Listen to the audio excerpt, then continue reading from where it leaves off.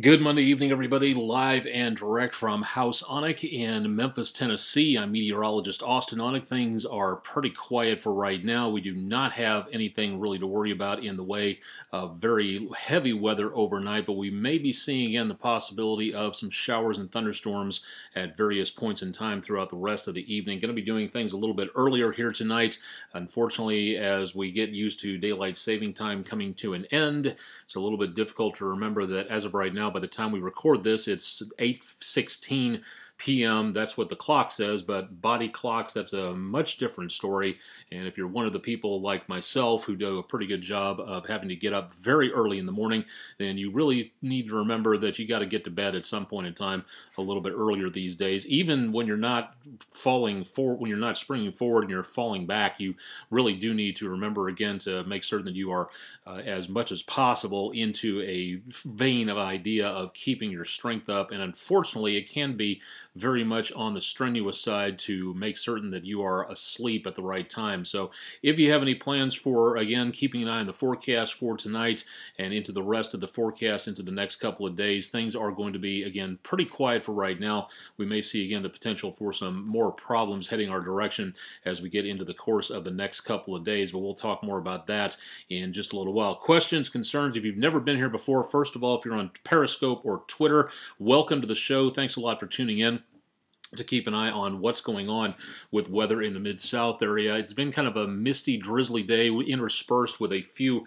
uh, thunderstorms out there, and there is still kind of the possibility of a few thunderstorms tonight. We're not looking at a huge amount anyway, but there is going to be that possibility that we see a few thunderstorms from time to time. I wouldn't rule them out at this point, according to what the forecasts say, but the threat for severe weather, it was pretty limited today, and looks like it's going to be even more limited coming up for later on tonight. So we'll talk more about that coming up here in just a little bit. Saying a big fond welcome to everybody who's just joining us on our Facebook video chat for this evening.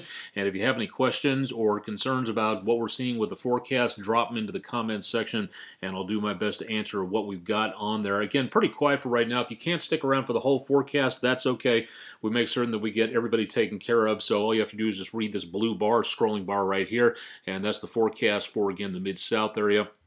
Again, giving the possibility of a few scattered showers, maybe a thunderstorm overnight, but that's really going to be just about all that we wind up with for the most part. We may see the possibility with those showers and thunderstorms out there of some decent amounts of anything involving uh, the possibility of maybe, again, some showers and thunderstorms taking place into parts of the Mid-South. Looks like my camera angle is a bit messed up here, so give me just about two shakes to take a look at that. Not too sure what source that was a second or two ago. As of right now, again on radar, taking a look from uh, News Channel 3 in downtown, we did have a few scattered showers taking place, and right around Midtown, we do have a few light echoes showing up and redeveloping in the case of showers, so expecting more chances of showers as we get into the afternoon and evening hours again tomorrow. We'll talk about that coming up in just a little bit. North Mississippi is pretty quiet for the time being. A few scattered sprinkles uh, out across much of the area as we get into around the early evening hours, we'll see more of these chances of showers uh, into the rest of the area today. Eastern Arkansas, if you're up around Jonesboro, uh, Harrisburg, west of I-55, that's where we're seeing some showers taking place here, and even more activity going on just north of there uh, into parts of Missouri. Heaviest activity by far is over West Tennessee, from the metro area north to Dyersburg, uh, Hornbeak, Troy, Union City, and again, possibility of those showers going to be continuing off and on. We're not getting any lightning from what I can see out of these storms, but we may see again the potential for uh, more activity like this throughout the course of the evening hours. So again, the possibility of seeing more of this is going to be a good one out there for tonight. So if you are traveling, that's going to be something else uh, to take a look at there. Good evening to Kevin Dunn. I'll get to uh, some of the questions here in just a little bit. Did have a couple of crazy storms out there uh, for a little bit for today. Thanks a lot. Uh, in a fight between the Weather Wizard and Storm from the X-Men, I don't know, I'd have to say Storm. She's a probably more powerful mutant, I think, and the Weather Wizard only just relied on technology as far as I remember, but uh, that's as close as I can say for right about now. Uh, Angie Rose, good evening, and Senatobia, again, you may be looking at the possibility of a few more scattered showers. There's just not that much going on uh, in the Senatobia area for right now, but more sprinkles are popping up from time to time. We'll continue to see more of that across much of the area for right now. You need some help? What are you doing? Come here. Come on. Come here for a second. Oh, you want to play? Oh, you want to play with the crinkle saw? That's what you want to do. Okay, fine.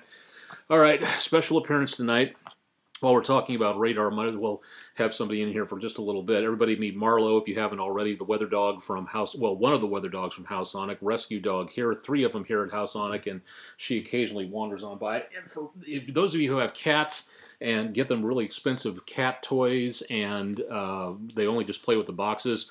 Really great idea. Put a uh, used water bottle in an old athletic sock, and that right there is something that uh, comes in very. What getting stage fright all of a sudden? You? Not really sure what to say, huh? All the lights and all the excitement and everything. Yeah, okay, well, anyway, we'll let you go chase that for right now. And we'll be back to her in a little bit for just a little while like I said before, you never know what you're going to get when you get into these weathercasts. So again, thanks to everybody for tuning in for right now. Let's go ahead and take a look and see uh, what's going on for the rest of the area for tonight. And as soon as I get my sources straightened out here for just a second, we do see that front sitting very easily right down to the south of us. This is from windy.ty. Oh, no, come on. Seriously? You're going to do this to me this way? Okay, hang on just one second here. I think we've got this taken care of. If not, this is going to be a very short... Okay, fine. All right. Well, this may be a little bit of a minor problem here. Give me just two seconds here to get this taken care of, and we'll uh, see what we can do about this. We can talk about radar for just a second while we get the rest of this done. Uh, what we should be seeing is this, again, the uh, possibility of uh, the, the uh, wind map showing up here. It's supposed to be in the viewing screen, but unfortunately for my uh, viewing friends on Periscope and Twitter, we're having some trouble getting this to show up for just a second, so let's see if this works for right now and possibly will, possibly not, don't know. Let's see. Okay, this might take uh, a little bit less of a concern to get this going. My apologies on this. This should have uh, worked uh, earlier. Not too sure why this is not doing things here just properly.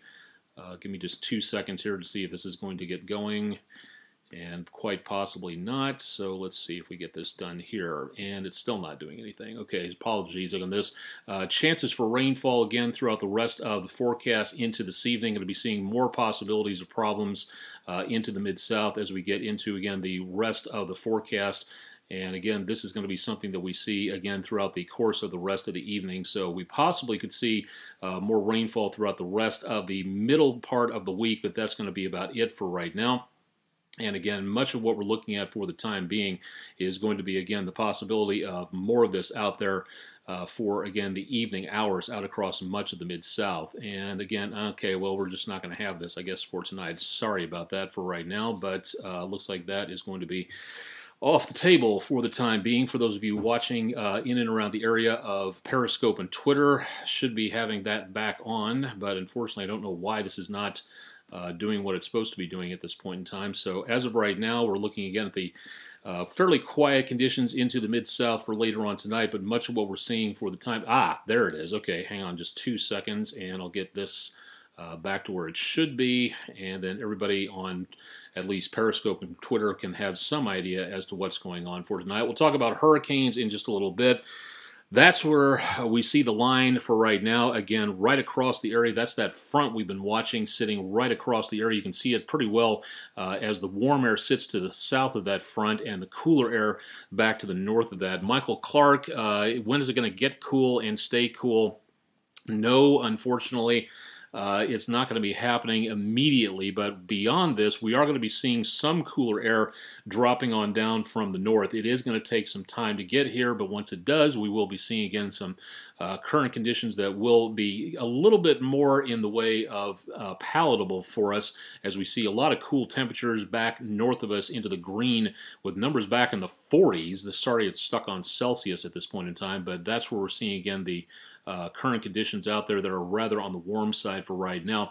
Uh, National Hurricane Center, we do have again 19 out in mid ocean, not a threat to anybody. It is just uh, tropical depression at this time. And once again, this thing could be a threat to the British Isles, so we'll be watching that. It could be a tropical storm as early as tonight. We'll be uh, listening into the Storm Prediction Center and the Hurricane Center for more information on that. Storm Prediction Center, here's the good news for this evening. Again, in the green shaded areas that we have here for the Mid South, the marginal threat is now solidly over Middle Tennessee and southern Middle Tennessee at that. So we don't have anything else going on in the way of severe weather. The light green shaded polygon, that's again just where we see the potential for just thunderstorms. And like we showed you on radar just a few seconds ago, uh, we may see again the potential for uh, more of those coming up a little bit later on, later on. Michael Clark, Pringles can, we'll have to give that a try sometime. Maybe if we put some uh, stuff on the inside, they can turn, turn that around. Uh, Grady Bennett, wind direction, that's Windyty uh,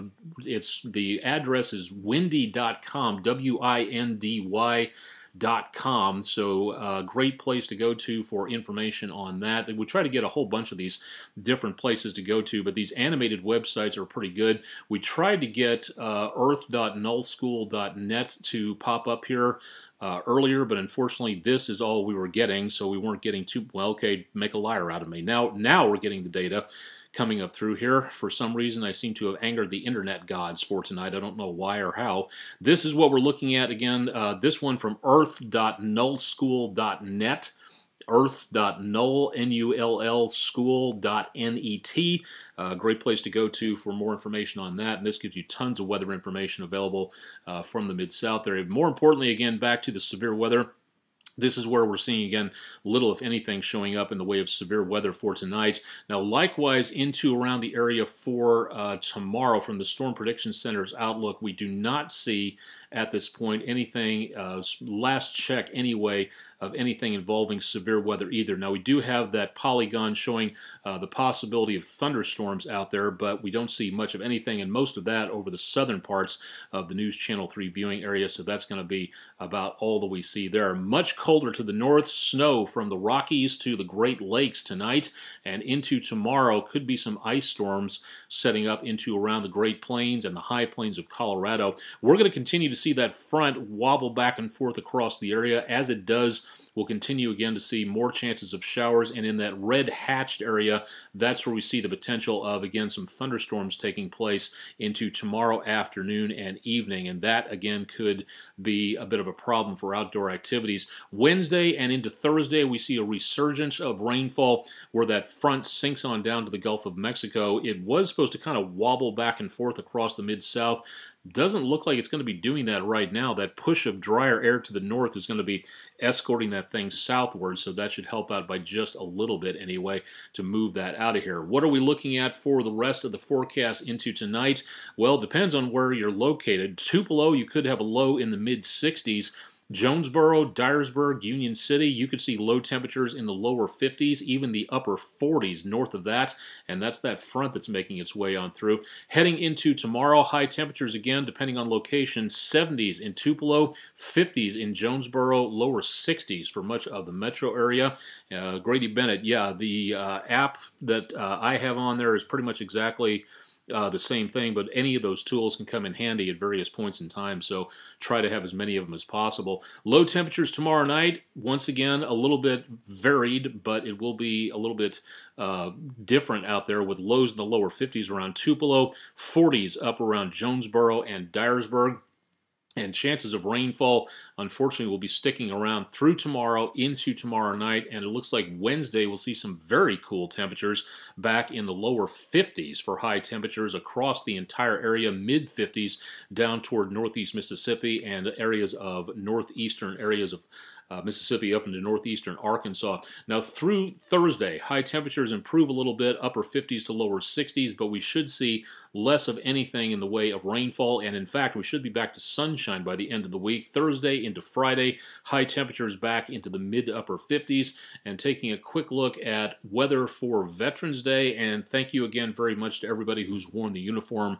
of the country to help keep us safe out there. A very big thank you, uh, especially from a military family like mine from a long time ago. Back to around the mid to upper 50s to lower 60s for Veterans Day. Now, by afternoon and evening, unfortunately, we've got more chances of rainfall starting to make its way on through, so that could be just a bit of a problem. But otherwise, looking at gorgeous temperatures out there, pleasant for outdoor parades, dedication ceremonies, things like that. And winds a little breezy out of the south, but at least they'll be warming things up 10 to 15 miles per hour out there. More information on my Facebook page, and if you're the late night type of person who sticks around again for uh, tons of information in the overnight hours, I try to plug in as much as possible that'll pop up in the overnight hours. So please stop by and check out more about that. More information about what's going on with weather, including uh, you can tune into these weathercasts available on the Twitter page as well radar data, satellite science, climate data, all sorts of other great stuff available there. Good opportunity to see more,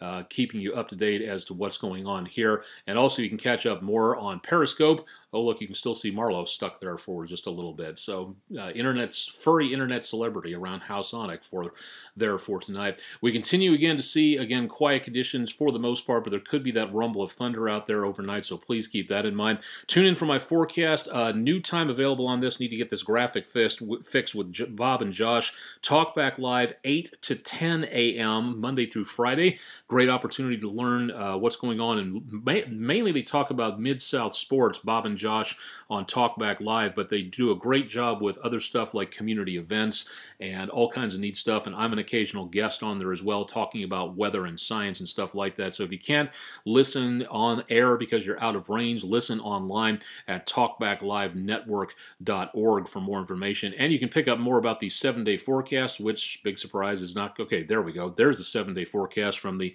News Channel 3 Weather Center, and that's available at wreg.com slash weather. Thanks to everybody for tuning in for tonight. Apologies for the uh, slight foul ups where it comes to information out there. We try to keep things moving as well as possible, but unfortunately, sometimes it does happen that way. We'll keep our eyes on the rainfall throughout the rest of the evening and also on what's going on throughout the rest of the Mid-South throughout the rest of the week, so stay tuned for more there. Live and direct from House Onek in Memphis, Tennessee, I'm meteorologist Austen Onek with the latest edition of News Channel 3's exclusive video weather blog, Weather Overtime. More available again at wreg.com slash weather. Everybody have a great and safe evening and stay tuned to News Channel 3 for all the latest.